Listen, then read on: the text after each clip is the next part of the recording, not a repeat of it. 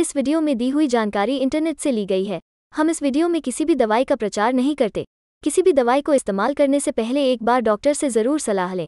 अगर आप इस वीडियो को देखकर किसी दवा का उपयोग करते हैं और आपको कोई साइड इफ़ेक्ट होता है तो उसमें हमारी कोई ज़िम्मेदारी नहीं होगी। आइसोफा इंजेक्शन एक आयरन रिप्लेसमेंट प्रोडक्ट है। इसका उपयोग अनीमिया के एक प्रकार के इलाज के लिए किया जाता है, जहाँ आपके पास बहुत कम लाल रक्त कोशिकाएँ हैं, क्योंकि आपके शरीर में बहुत कम आयरन है। यानी कि आयरन की कमी से अनीमिया आयरन आपके शरीर में ऑक्सीजन लेने वाले लाल रक्त कोशिकाओं का उत्पादन करने के लिए आवश्यक है।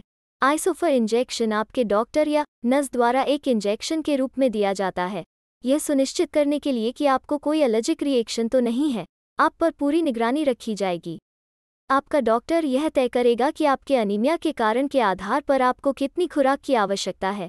यह एक अच्छी तरह से संतुलित आहार खाने में मदद कर सकता है जिसमें पर्याप्त आयरन, विटामिन और खनिज होते हैं। आयरन के अच्छे स्रोतों में मांस, अंडे, किशमिश, ब्रोकोली और लेंटल शामिल हैं। सबसे सामान्य साइड इफ़ेक्ट में उल्टी, मिचली आना, गहरे रंग का स्टूल, मल, कब्ज और डायरिया, यानी कि दस्त, शामिल हैं। इनमें से अधिकांश आमतौर पर थोड़े समय में दूर हो जाते हैं। अगर आपको इनसे परेशानी होती है या ये लंबे समय तक रहते हैं तो अपने डॉक्टर या नर्स से बात करें। अगर आपका अनीमिया आयरन की कमी के कारण नहीं हुआ है तो आपको यह दवा नहीं लेनी चाहिए।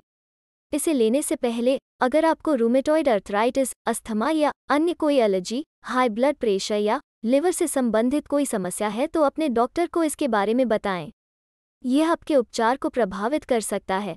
यह पता नहीं है कि यदि आप गर्भवती हैं या स्तनपान करा रही हैं, तब इस दवा का इस्तेमाल सुरक्षित है या नहीं। इसलिए कृपया अपने डॉक्टर से सलाह लें। रक्त कोशिकाओं और आयरन लेवल की जाँच के लिए सुधार पर निगरानी रखने और साइड इफ़ेक्ट की जाँच के लिए आपके नियमित टेस्ट होंगे।